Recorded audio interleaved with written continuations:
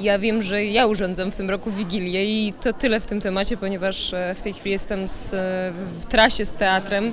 Em, Pomiędzy spektaklami wpadłam na premierę Listów do M, e, ale tak naprawdę za mm, urządzanie tych świąt zajmę się dopiero w grudniu, więc w tym roku dosyć późno.